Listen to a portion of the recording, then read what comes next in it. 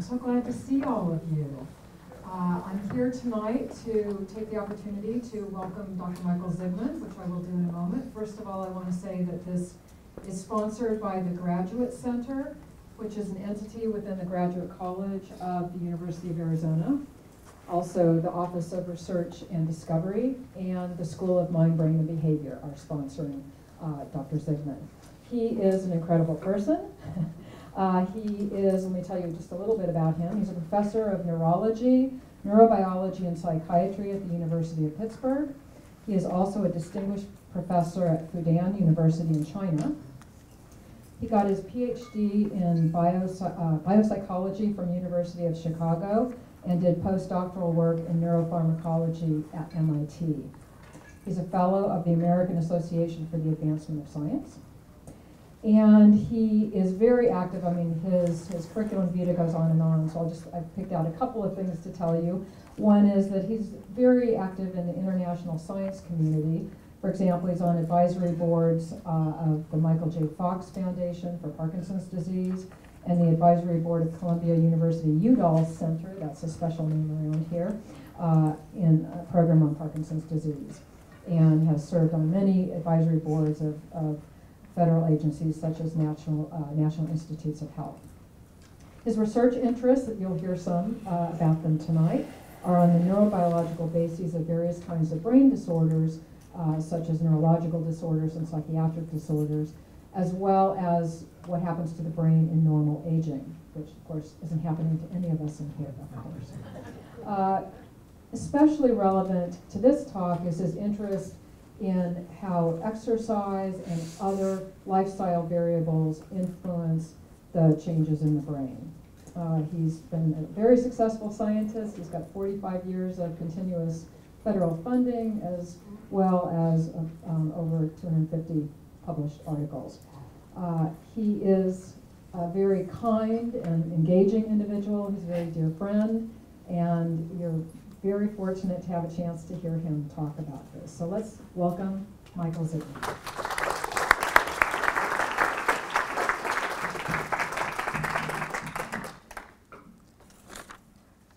Thanks, Jenny. Uh, if you ever have a chance to, to select somebody to introduce you, I would suggest uh, Jenny as, uh, as the person of choice. She's great. Um, we've known each other actually for 20 years. She was a high school student when I first met her.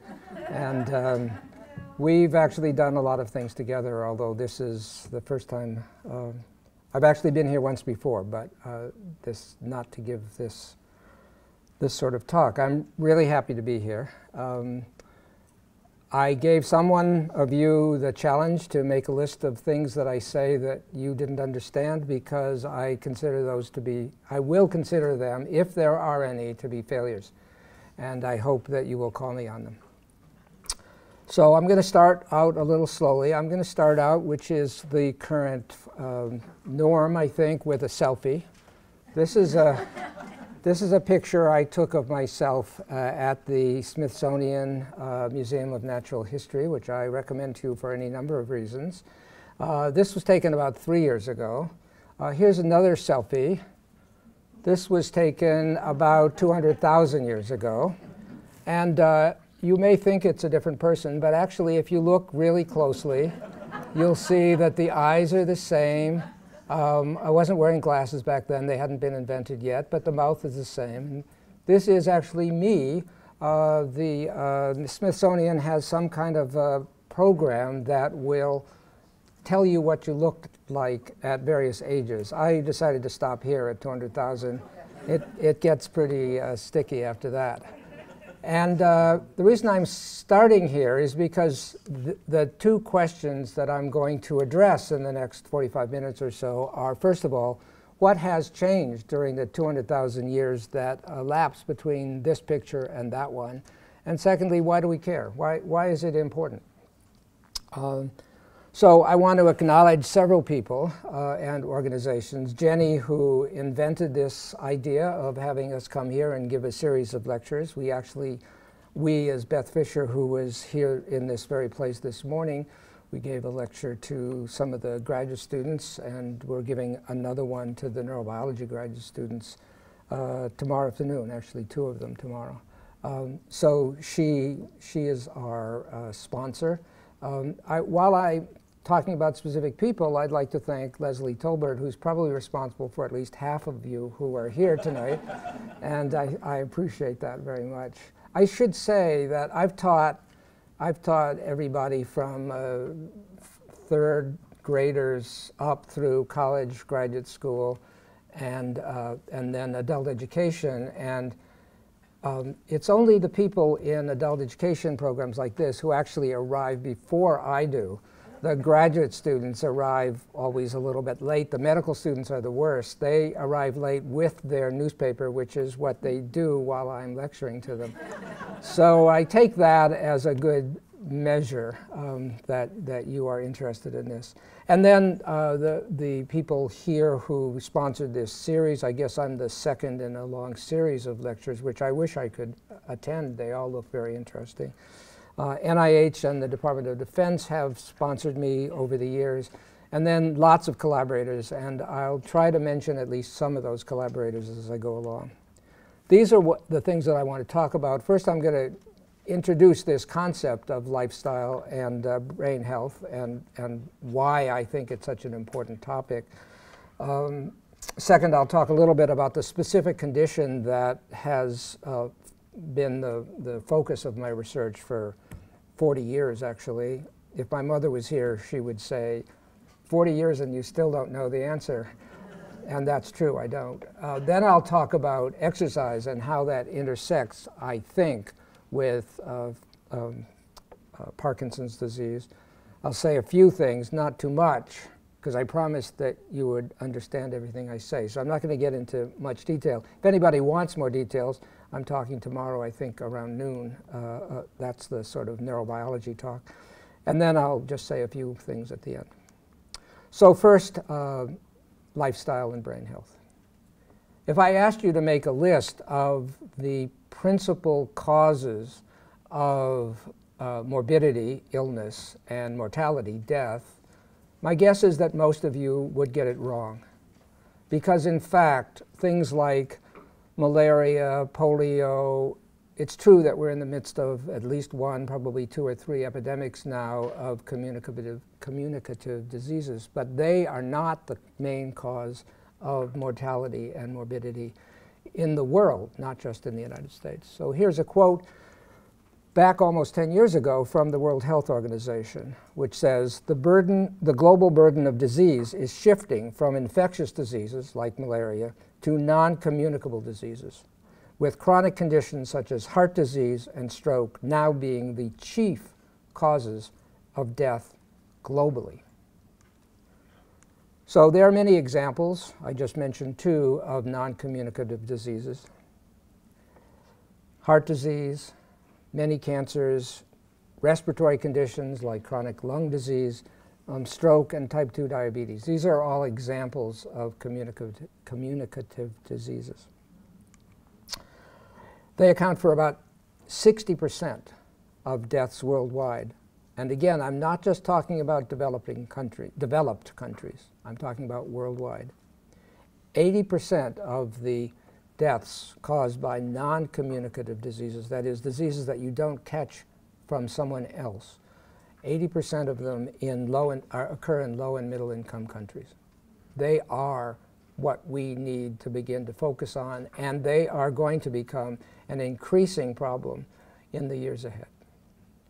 You've all heard about Alzheimer's disease. You're worried about Alzheimer's disease. I am too. This is my 75th year. I'm getting there. Um, both my parents uh, uh, died of dementia, so I'm all too sensitive to that as perhaps the chief problem that we, the um, older generation, need to worry about. Um, there's huge impacts, personal impacts, impacts to our caregivers, if any of you have taken care of a patient with a condition like Alzheimer's disease or stroke, you know the burden that you faced. I remember the burden that my mother faced when my father, who died first, um, had dementia. And of course, the cost is almost incalculable. So what causes this? What causes this? Well, one of the things that people point to is an increased lifespan, and that is a reasonable thing to point to because virtually all the conditions, that's an exaggeration, but most of the conditions, certainly Alzheimer's disease, as you know, have as their principal risk factor um, advanced aging. And if you ask people, well, what did the lifespan look like even 100 years ago, let alone 1,000 years ago, they'll say, well, it, it, was about 30. And now the lifespan in the United States uh, and most Western countries is in the order of 80.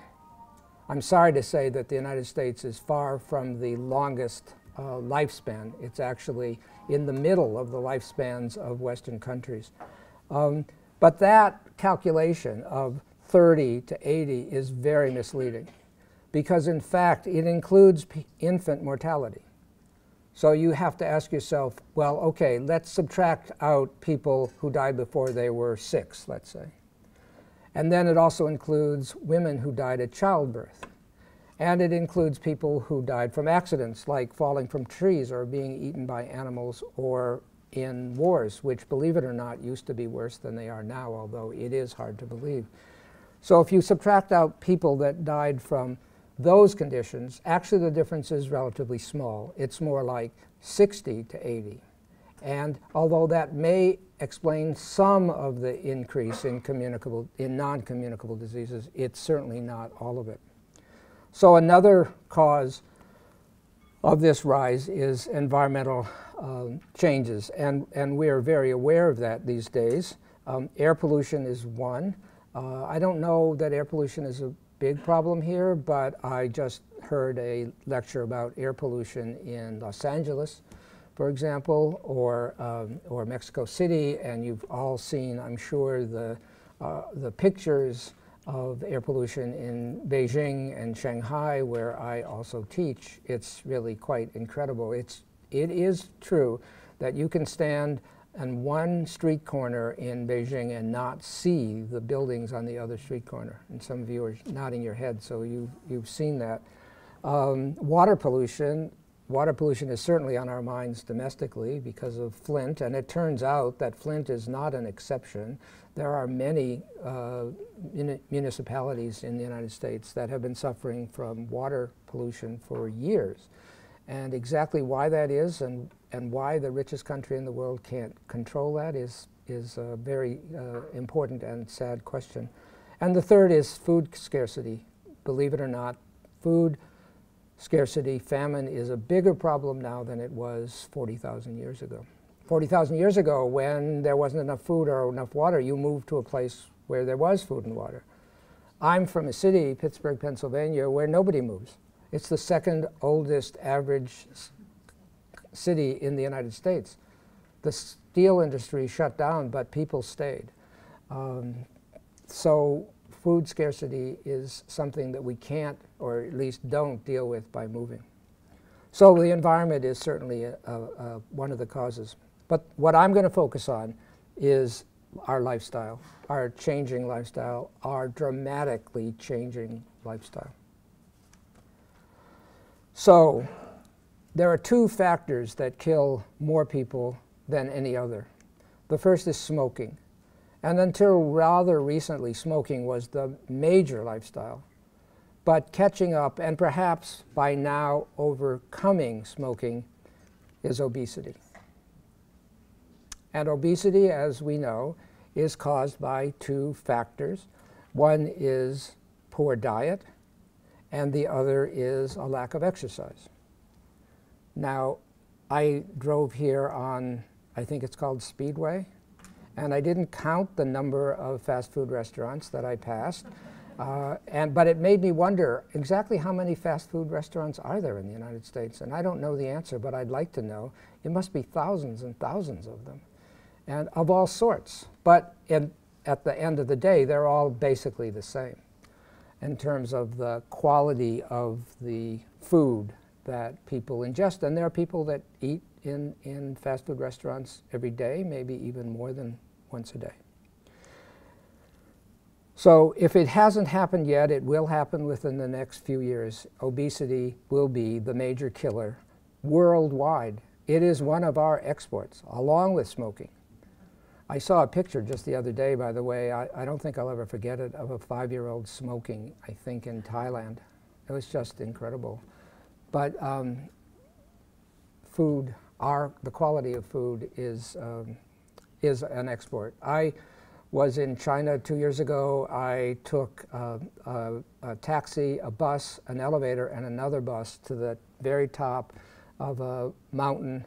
Um, and when I got out of it, there was the biggest McDonald's I'd ever seen at the top of that mountain. It took me an hour to get there. I didn't go in. Okay, so how do we spend our time? I've already said one of the things that we spend our time, which is eating very bad food. But how do we spend our time? Well, out after work, the, major the major consumer of our time is television. I don't know if anybody here can guess how many hours of television the average person watches, but you get an idea if you just go for a walk in the evening and you see these kind of blue fluorescent things flickering through the window. But believe it or not, we spend almost five hours a day as adults watching television. I mean, that's incredible. I am proud to say that although we have two televisions, I have never allowed my wife to teach me how to use those little things we call clickers and so um, once in a while while she's traveling, there's something I have to watch. So I have to call her up, and she walks me through the use of these, of these devices. Um, so we spend almost five hours a day watching television. I mean, that is just amazing. You have to turn the television on as soon as you get back from work, and you have to watch it while you're eating dinner, and then keep watching it until you go to sleep to get five hours in. I mean, that's not easy. Um, the second uh, thing that we do is eat, which could be good, but uh, you probably can't tell what these people are eating, but I don't see an item of protein there. It seems to be all carbohydrates, and we eat an enormous amount of carbohydrates. The third thing we do is exercise. How much time do we spend exercising a day? Less than 20 minutes. And that gets worse and worse as you get older and older, beginning with high school. Right? So we've all seen our children and grandchildren when they're preschool ages, you put them down and they're gone. And I still remember taking one of my young cousins to a science museum. And I, every time I stopped at an exhibit, he disappeared. I couldn't find him, so I, ha I could, had to stop looking at the exhibits. And I finally hit upon an idea turn up which volume? This? oh, okay. Sorry. I'm sorry. If, if you can't hear me, any of you, uh, raise your hand. Um, so I convinced them that actually this was a museum of tiles. The tiles were on the floor, and we were going to look at each tile. And the second exhibit was the windows. So every time we came to a window, we would look at the windows. And I managed to keep track of him for about an hour. Um, so, so that's what little kids do. They, they, they don't need to go to the gym. They don't need any enticement. They are active all the time. But we're not. We become less and less active. And maybe we'll talk a little bit about how that is. What happened to that urge to, to exercise that we had literally built into us when we were little um, as we get older and older.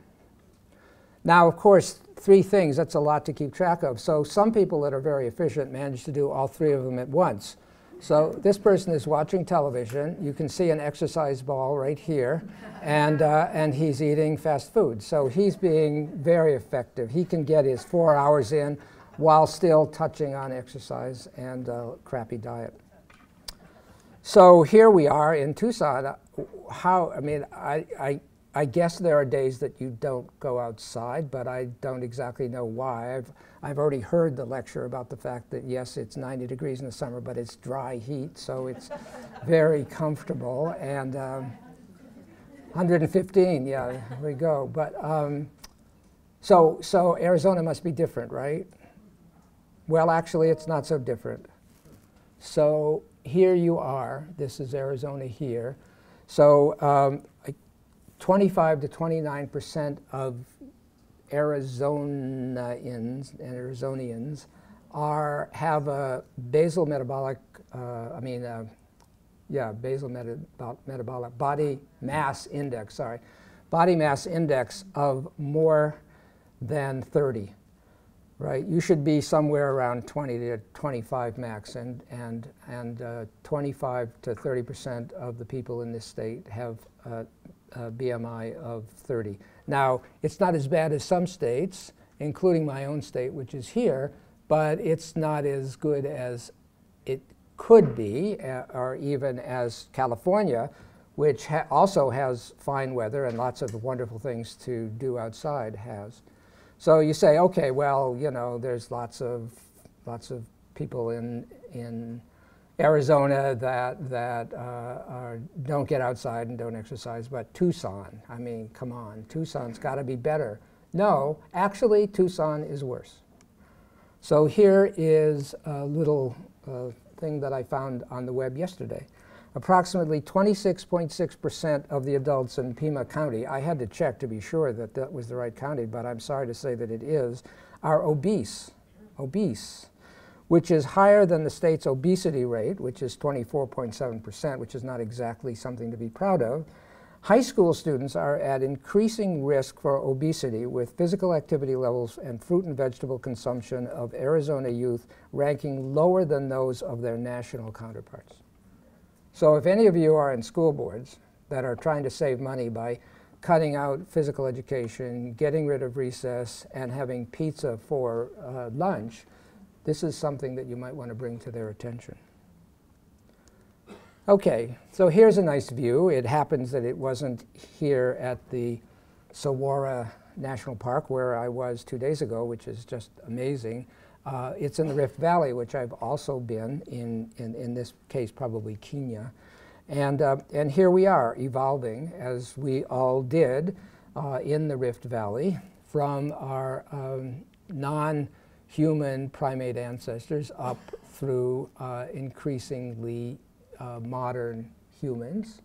And then that's where we are now. This is not an exaggeration. Um, none of it, except maybe the clothes. But um, the overweight, the, um, the poor posture, and the sugary drinks, which people have tried to outlaw and failed, um, are characteristic of, of us now. So the basic hypothesis that I am presenting to you today is that we evolved under one set of conditions and to a large extent, not entirely, we are still evolving in little ways, but to a large extent, our lifestyle, our, our, our genes are stuck where they were more than 40,000 years ago, much more than 40,000 years ago, but our lifestyle has changed dramatically and exponentially. So when you think about what happened when we, came, we became farmers and herders, we settled down, Later, the Industrial Revolution, we stayed indoors and worked hours in Pittsburgh. You worked 12 hours a day, seven days a week. Then you worked for 24 hours, and then you took a day off and you switched to nighttime versus daytime um, work. And that, that was the Industrial Revolution. Then came um, the car uh, and uh, increasing, uh, uh increasing immobility, and finally the television. So our diet has changed dramatically. Our social interactions have changed dramatically. This is a picture, which is actually a modern picture of a group of people um, in South Africa, the San. Uh, sometimes they're called the Bushmen. And um, it shows a number of things. One is that people, you can't quite see what they ate, but they, they ate and eat uh, natural, um, high fiber grains, no white bread for them. Um, they eat as a group, and in fact, when a hunter comes back um, with food, they don't eat it by themselves. They don't even just eat it with their families. It, it belongs to the community. So eating is of high quality, and the, um, and the conditions under which they eat are, are um, I would call it high quality. Extraordinary amounts of physical exercise. I'll give you some statistics in a second. Um, a lot of cognitive stimulation. Things were changing all the time, and you had to ever be ever alert to your environment for any number of reasons. Um, the reason you were running was either because you were chasing prey, and it turns out that the way we hunted was not so much with uh, spears and bows and arrows. We hunted by running our prey down because humans are among the very few animals, dogs are the only one I can think of offhand, that can sweat. And other, most animals can't. They can't lose heat in the way that we do. And so we run after them. They run faster than we do, but we run after them, and eventually they have to stop because of heat stress. And so that's when we pull out our spears or a bow and arrow and we, uh, and we kill them. And finally, stress. I want to talk very briefly about stress. This was a kind of stress that we used to deal with, but we knew what to do. We may or may not have been successful, but we knew that we had to get the heck out of there really fast. And so all the adrenaline and the steroids that got released into our bloodstream, which in the long run could be toxic, um, in the short run allowed us to do what we had to do, which is to think quickly and run fast. That's not the stress, by and large, that we deal with now. This is the stress that we deal with now, and this is the stress that we deal with now. Now, what are you going to do about that? What are you going to do about the corticosteroid and the adrenaline that gets released and you all have ha uh, had both of these experiences, and, and, and you can think of many others as well. Airplanes being canceled, um, you know, standing in long lines to get your groceries um, uh, paid for. You can't really do anything. And you just bathe in these toxic substances, which over time cause enormous damage to our bodies in general and our brains in particular. So I want to come back to physical uh, exercise, which is my focus today. So it is estimated that we, as uh, early Homo sapiens, ran the equivalent of a, of a, um, a marathon a day, or walked or ran, right? Women tended to walk because they were doing the gathering, and, um, and men tended to run because they were doing the hunting. How about now? How about now? How much do we exercise now? 300 meters a day. 300 meters a day. And if you are a full professor and you get a parking space right next to your office, it's not even 300 meters a day. Now, for young faculty members, that's a good thing because the old faculty members are going to kill themselves by a lack of exercise. But the point, you get the point, right? You've all I don't suggest that anybody in this room uh, is, uh, has been a party to this, but you've all seen people drive to the, um, to the shopping mall, buy something in one store, and there's another store four away, and they get back in their car and they drive four away.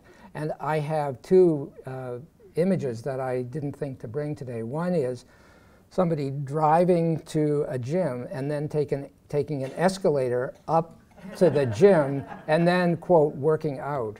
And another person walking a dog by driving with the leash out the window as the dog got walked. I mean, we'll do anything to avoid exercise, in contrast to our children and grandchildren. Okay, so that's the changing face. And notice these are not adults, and this is not an adult. This person is obviously being a spectacular role model to his little granddaughter. And these people are doing it all. They're watching television, they're sitting uh, without any exercise, and you can see sort of what they're eating. That's the face of our children, let alone us uh, today. So we've evolved under these terrible, uh, under great conditions, and we've changed our our lifestyle dramatically, dramatically. And this has very toxic consequences. And you probably know most of these things. So I won't go through them, but heart disease, stroke, lung disease, diabetes, some cancers, and things that affect the brain, like depression. These are all things that are, um, so these, I'm sorry, that should be decreased, reduced stress. I don't exactly know what that means, but you get the idea, right? The, probably the best antidepressant is exercise, right? So if you find yourself depressed, if you have a way, and running in place counts, uh, of getting involved in exercise, I think you will demonstrate to yourself that exercise is an antidepressant. But I warn you, exercise is addictive. It's true, but it takes a while. Some people estimate you have to exercise regularly for about six months, and then you're addicted. You can't do without exercise. Um, so I've already mentioned Alzheimer's disease. But I want to emphasize that we're not just talking about life and death. We're also talking about the quality of our life, our, our health span. And that is also affected by um, the lack of exercise. So this is an added image. The declining characteristics, in this particular case, physical, but in every case, um, of, uh, of life as people get older. But we assume until we get there ourselves, right? If you had asked me uh, when I was 20 or 30, well, what was I going to be like at 75? I'd say, well, I guess I'll, you know, my memory will be gone and I, I won't be able to move very well and, you know, I'll be depressed and, and, and I'll have cognitive impairment. But it turns out that although, of course, there, not of course, there is likely to be a maximum lifespan for humans, it's not 65 or 75 or 85, and it may not even be 95. Um, and a lot of what we take for granted as the reduced quality of life that comes along with aging is the result of our um, lifestyle. So these are some things that many of which I've already mentioned uh, that uh, occur with exercise. I just want to emphasize that on this on this little cartoon, there are a number of things that uh, involve the brain. Sleep, which is one of the most important characteristics of, um, uh, of our lives. There's now very interesting data that suggests that it's during sleep that our brain literally gets cleaned out of the toxins that have developed over the course of the previous um, day and that if you're not getting at least seven, uh, better eight hours of sleep a day, you are doing damage to yourself. And there are people that are exceptions, but nearly, not nearly as many as think they're exceptions. Uh, one of our presidential candidates says that at most he sleeps four hours a day. And as far as I'm concerned, without getting into politics, um, some of the things he says are examples of the fact that four hours a day is not enough. Uh, improving mood, improving cog uh, cognition, uh, decreasing stress, uh, and increasing your sense of, of self-esteem. All of these things are improved by physical exercise. And what I'm going to focus on is uh, neurodegenerative diseases, which means diseases in which neurons in the brain gradually die at a rate which is much greater than you would expect from normal aging. Um, Alzheimer's disease and Parkinson's disease are the prime examples. I happen to spend my time talking, uh, doing research on Parkinson's disease, so that's what I'm going to focus on. So let me talk about Parkinson's disease. Probably most of you, if not all of you, know people with Parkinson's disease. Actually, Mo Udall, the reason that there are Udall centers in the United States, of which there are about a dozen, I had one for many years. I'm sorry to say I don't have one now.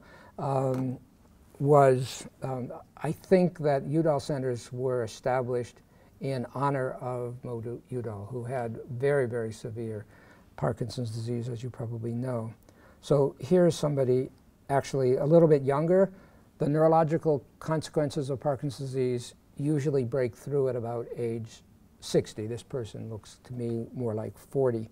Um, but nonetheless, he shows the principal characteristics of Parkinson's disease. So you see this stooped posture. You see a tremor, which is so great that actually the whole body seems to be tremoring. He's about to turn, and you'll see, well, he's shuffling here. He's about to turn, and he has terrible balance. And in fact, later in the video, I probably won't show it all, he almost falls.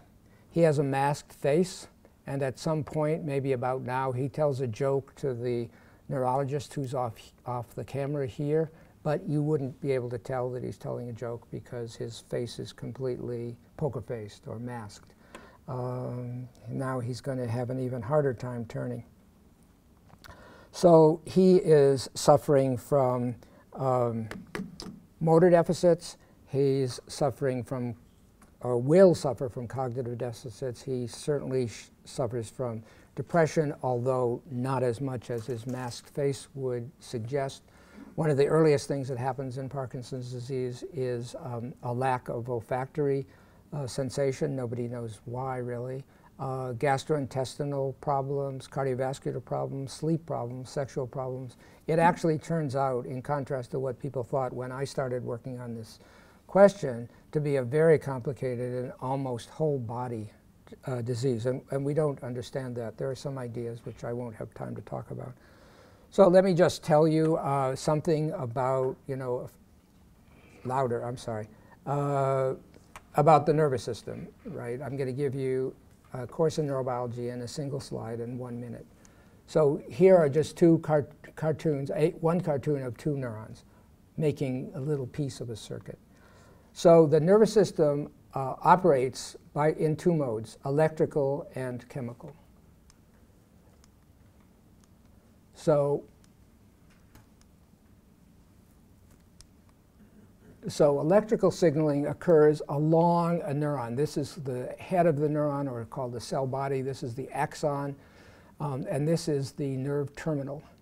and something, which we won't go into, will trigger a, an electrical signal which, travel, which will travel down the axon and then release chemicals into this space, which is called the synapse, so that's the chemical signal, electrical signal, chemical signal. The chemical signal will either stimulate or inhibit a electrical signal in the next neuron. So that, that's what it's all about, really. I don't know why there are probably 40,000 neuroscientists in the United States, because it's all pretty straightforward. But as my mother would say, it's a living. Not a great living, but it's a living. Okay, so, um, so that's, that's, what, uh, that's how the nervous system operates. And neurodegenerative diseases involve the gradual, uh, abnormally rapid and progressive loss of neurons in the brain. So here we have a cartoon of the brain with different parts of the brain labeled according to their name. And if you were to make a section uh, sideways, uh, or I don't know, whatever that would be, sagittal, uh, you would see this as the inside of the brain. And here in the lower part of the brain, just above the spinal cord, is an area called the substantia nigra, which stands for black substance. And it was one of the first parts of the brain that were actually noticed in terms of its uh, histological uh, characteristics because it is black. You don't have to stain it. You see black substances. And what was found was that in th this is a, this is this area, section through this area, and these are the black uh, cells, the black neurons, called the substantia nigra, um, and they contain an enzyme that synthesizes dopamine. And what was discovered almost exactly 100 years ago is that patients with Parkinson's disease who died and were autopsied didn't have these black substances. So you see here, almost none of those cells are there anymore. So Parkinson's disease, I said already that it's a, a, a very broad disease with lots of problems, but the problem that is associated with the motor deficits, which is how Parkinson's disease is typically diagnosed, has to do with the loss of these cells and the loss of the chemical transmitter that is utilized by those cells, which is called dopamine. Now, you may not have heard of dopamine, but you've heard of L-DOPA. And L-DOPA is used to treat patients with Parkinson's disease because it gets into the brain, and in the brain, it gets converted to dopamine. So what you're doing is chemically repairing the loss of these dopamine neurons by putting back the dopamine artificially. Now that's a little weird, and we could talk a little bit about how that's possible, that something as intricate, in, trick kit, as the nervous system could have its, some of its neurons replaced by just putting in the transmitter. That's a, an issue I'm very interested in. We won't talk about it now. But that is the reality that treating patients with Parkinson's disease who have lost their dopamine uh, involves the addition of dopamine indirectly. And I don't know, how many of you saw the movie Awakenings about 20 years ago? So that was one of the earliest uh, efforts uh, by Oliver Sacks, at, uh, as it happens, who just died this last, in the last 12 months, um, to treat patients with Parkinson's disease with L-DOPA. Okay, so there are lots of drugs now. The first drug, well, not quite the first drug, but one of the first drugs was L-DOPA. And there are lots of other drugs now, although to a large extent, I'm sorry to say, they're kind of Me Too drugs. There are other drugs that effectively replace the dopamine or the dopamine stimulation um, in Parkinson's disease. And if I had Parkinson's disease, you can be sure that I would take one or more of those drugs because I would be happy to have my symptoms reduced. You've probably seen people, as I said, with Parkinson's disease. There are many famous people that have Parkinson's disease. Michael J. Fox, who was mentioned, is one of them. Muhammad Ali is another. There are lots of people uh, that have Parkinson's disease, and when they're on, they look pretty good. When they're off, or when they have been over-medicated, they look quite bad. So the problem with these drugs is that they don't seem to affect the underlying disease. The disease progresses. All, all you're doing, and I don't really mean all you're doing, because if I had the condition, I'd be happy for it, but what you are doing is reducing the symptoms. Also, the drugs become less and less effective as the disease progresses, and there are side effects, which you've probably seen in, um, in the case of uh, Michael J. Fox, and maybe some people that you know. Okay, so we need to find some way to deal with, with Parkinson's disease.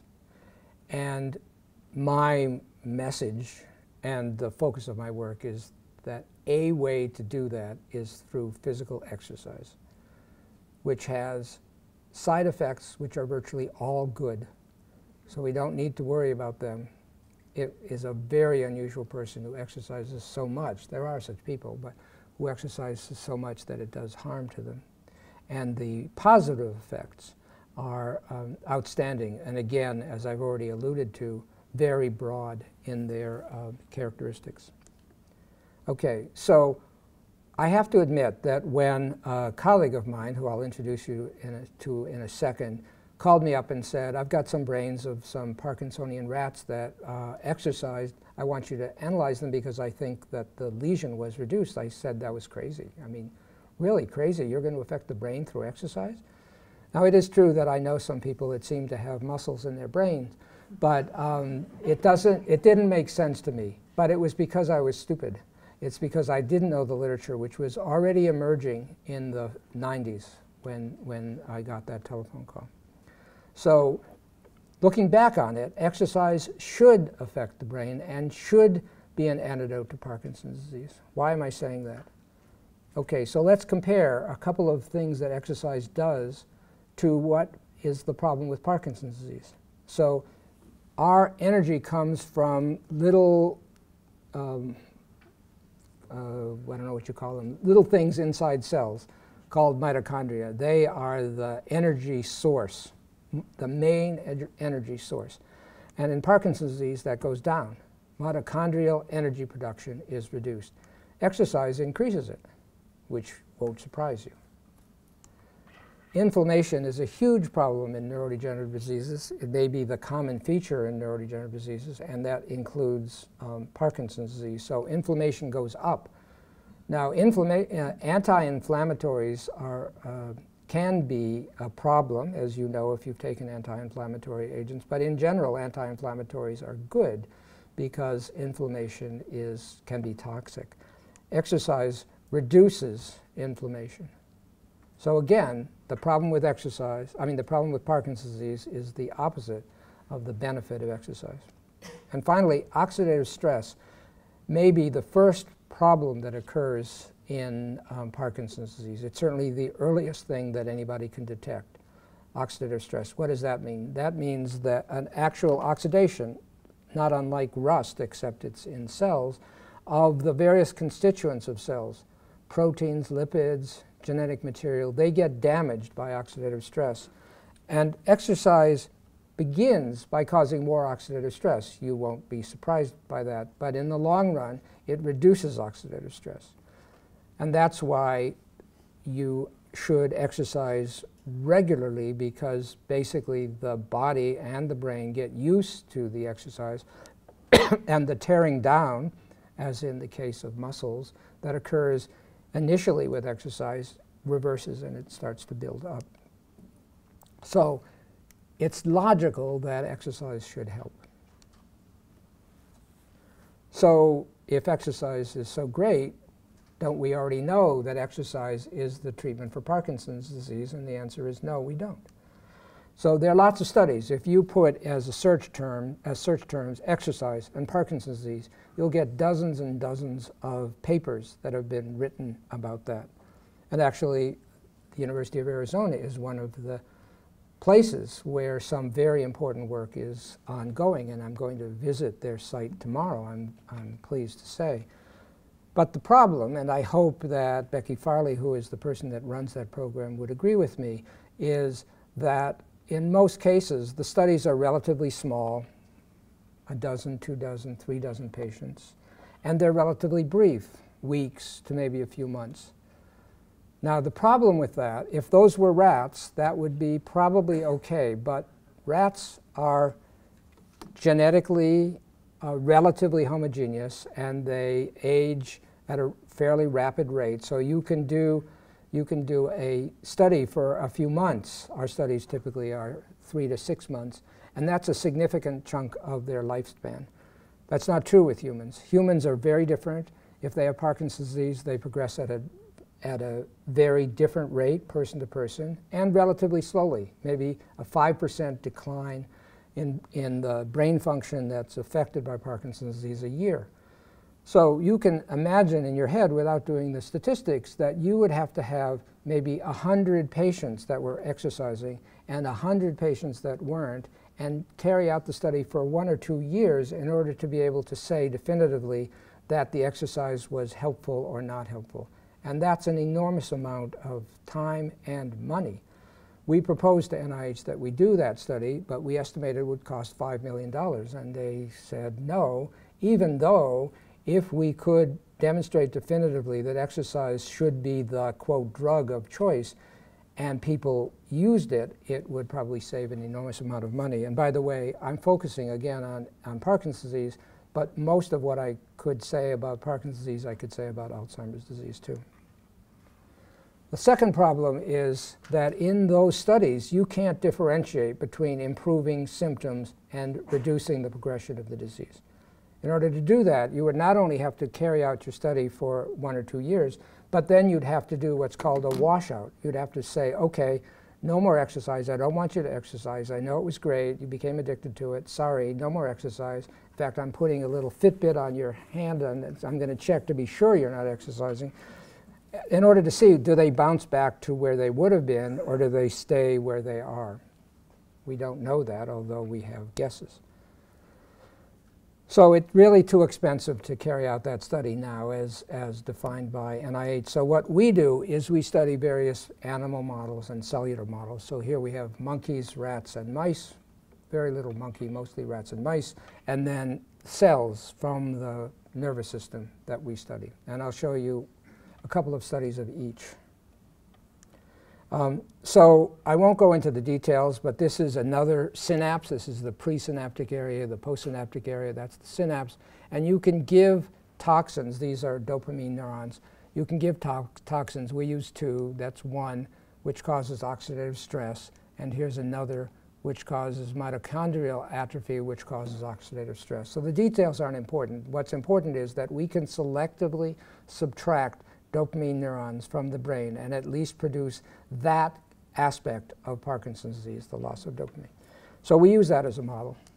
And here's my colleague who got me started, Tim Schallert, who I'm sad to say has Parkinson's disease. It doesn't seem fair. He spent his life studying Parkinson's disease. Now he has it. He's the second of my colleagues that, that I know of, actually the third, who developed Parkinson's disease. So what Tim did is he used one of those toxins and he injected it on one side of the brain. If you inject a toxin that affects dopamine on one side of the brain, the other side of the, what did I do? The other side of the body suffers what's called motor neglect. You no longer use that limb. In Parkinson's disease, it tends to be bilateral. We produce a unilateral version. And if you take animals that are like that and you put them in a cylinder, this is a plexiglass cylinder with a mirror image of that plexiglass cylinder so you can see both sides of the animal. What an animal would normally do, a, a, a rodent would normally do, is they'll rear up on their hind limbs and explore the environment with their forelimbs. So take a look at this animal that's received this toxin on one side of the brain, and I think you'll see that there's a problem this animal lands on the plexiglass cylinder eight times, and all but one of those eight times, it only lands on the left side, the left forelimb. Doesn't land on the right forelimb. That's because 6-hydroxydopamine, the toxin, has been injected on the um, right side. So the left side is suffering what's called motor neglect. Okay, so then the brilliance of um, uh, Tim was to repeat the experiment, but this time to put a cast on the limb that would be normal, forcing the animal in the week after the toxin to use this limb if it is going to explore or even if it's going to go and look for food and water. And then he took it away. And then he repeated the experiment of looking at the animal. And I defy you to tell me which side is the abnormal side. There is no abnormal side. The animal is landing on both limbs all the time. So with that simple increase in exercise, which lasted in this case only seven days, we have abolished the behavioral effect of this toxin. And I won't go into the details, but we also looked at the brain and we showed that we had effectively abolished the lesion as well. And we've done that in several ways, and I, I, will skip some slides. But this is casting, which is not a particularly useful way to, uh, to deal with patients, although it is being used in some cases in the treatment of stroke. We've also used something called a running wheel. We attach a running wheel to uh, the cage of a rat. You've probably all seen in pet stores gerbils. They'll go into a running wheel and they'll run and run and run. And um, these animals run like eight hours a day. That is maybe a little bit more useful, but we aren't expecting patients to run for eight hours a day. Um, so um, what one of the experiments that I've done with a collaborator, Judy Ca uh, Cameron, has been to use a treadmill, which is uh, a um, reasonable thing to expect. So I'm going to skip all this. So here's Judy, and here is a monkey on a treadmill, which is the same kind of treadmill that you would use. It's just a human treadmill with a little plexiglass box to keep the animals from uh, disappearing from the treadmill. And what she did was she had the animals, she gave the animals a toxin on the right side in this case, and then waited. This was three months of treadmill, toxin, wait a little while, another six weeks of treadmill, and then she looked at the animals behaviorally um, and in a variety of other ways.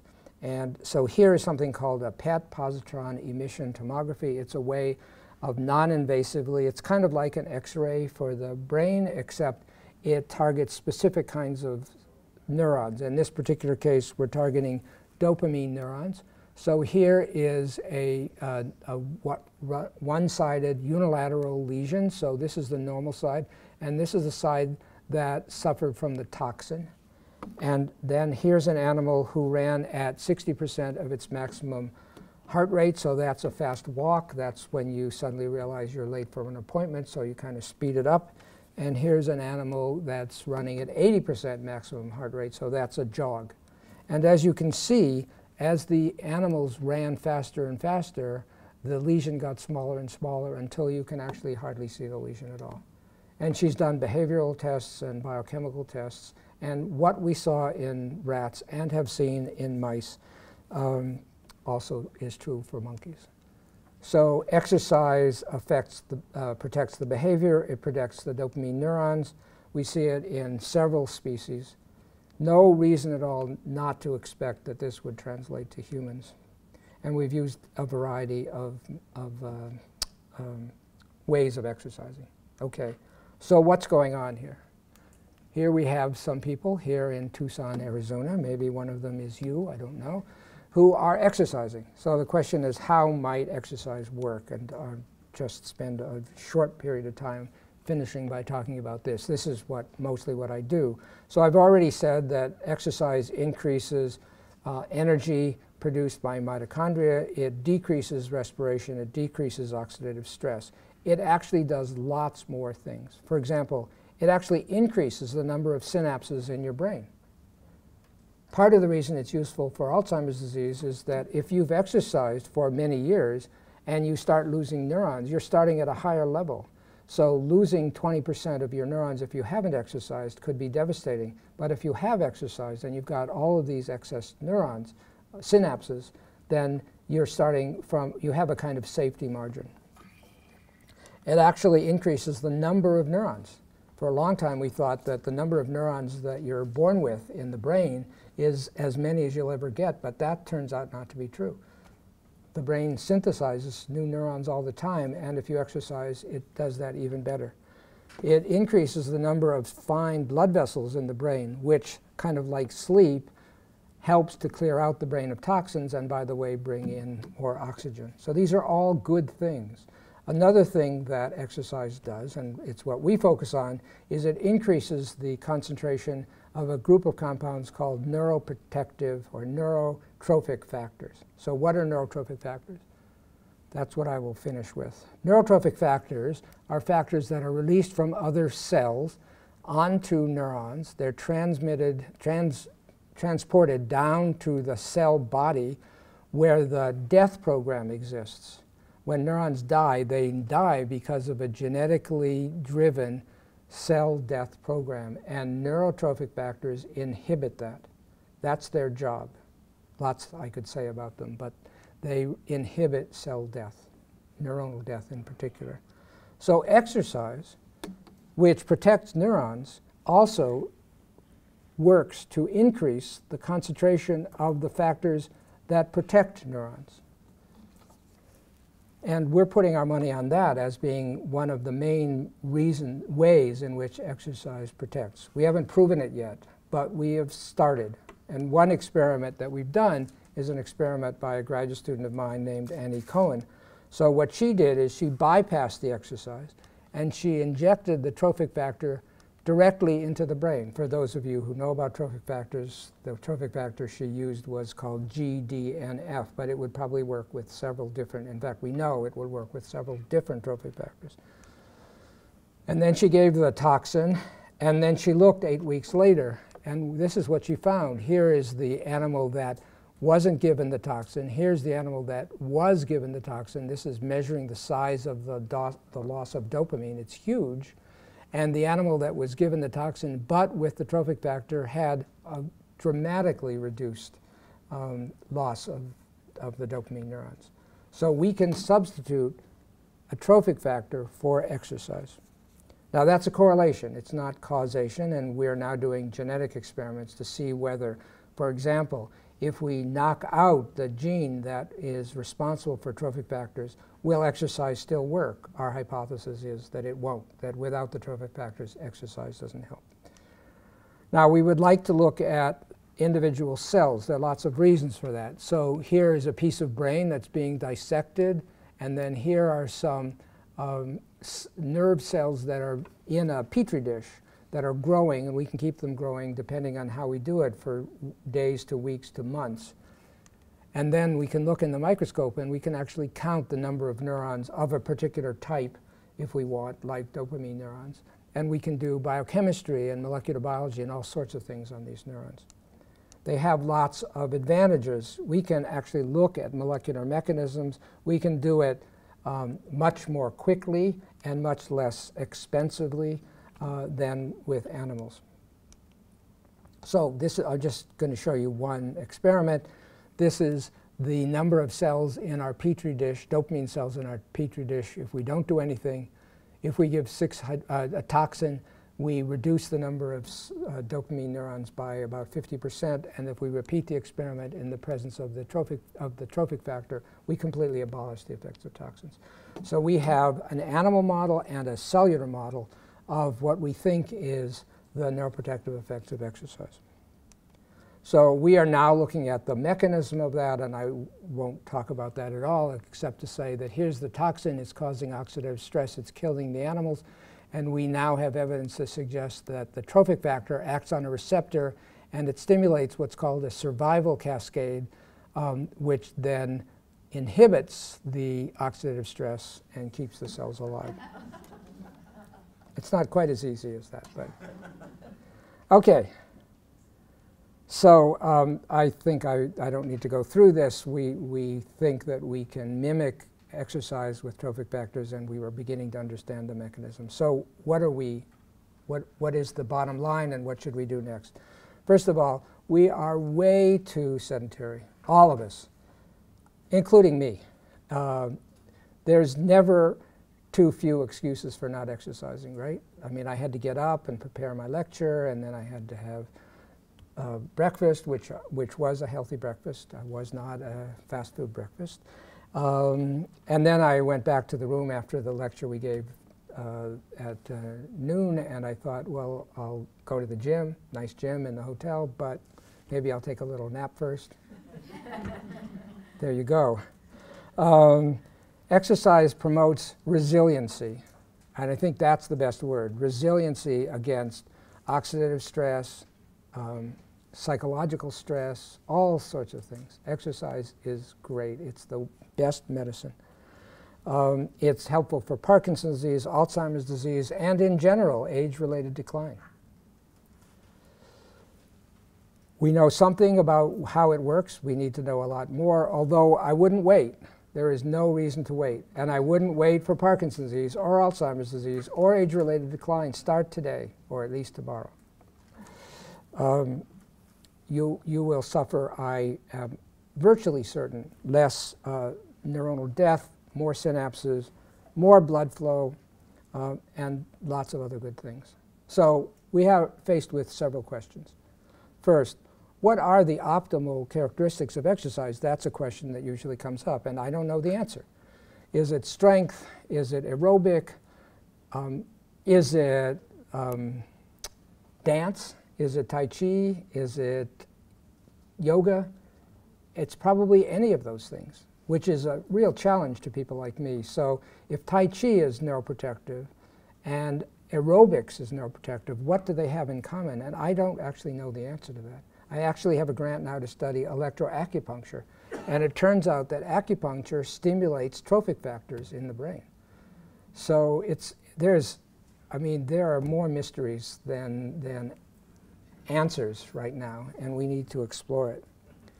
Secondly, what about other lifestyle characteristics? I've only focused on exercise, but I said earlier stress, environmental um, um, cognitive stimulation, um, sleep, I don't think I mentioned that, and for me, probably the single most important factor in your lives is social interactions there's an extraordinary correlation between the number of social interactions up to about five. After five, you don't need any more friends, but you need at least five close friends, starting with one close friend. People that you can count on to help you, people whose opinions you value and whose opinions you offer. Um, and and there's, a, there's an enormous correlation uh, between friends and health span and even lifespan. Now, sometimes it's important for me to emphasize that living alone is not what I'm talking about. It turns out that people who live alone have more friends and more social interactions on average than people who have a partner. If you have a partner, you've got a television. You've got five hours to, to, to get in, so that's your social interactions. But if you live by yourself, the literature says you will go out and you have dinner together and you go to movies together and do all sorts of things. So I'm not saying that living by yourself is a bad thing. I'm saying being lonely is a bad thing. And finally, why do we make such bad decisions? The importance of exercise, even if it's only now that we're beginning to understand it with respect to the brain, the importance of exercise has been around for a very long time. So why do we have pictures like this? And you can find them anywhere. I'm sure you know people that look like this. And I said that exercise was responsible for non-communicative diseases. This man is communicating something to this little girl. So lifestyle is communicated. People that are overweight hang together, people that smoke hang together, people that eat at fast food restaurants hang together. So it's a misnomer. It's not really non-communicative. So here's one of my favorite cartoons. All these years, and this is the doctor, although it could be the other way around, as some of you know from doctors you've had, but this is the doctor because he has a stethoscope. Uh, this person is smoking, he's drinking, and he's overweight. All these years, you haven't listened to a damn thing I've said, have you? So, here I am. and this is what I'm trying to do. Thanks very much.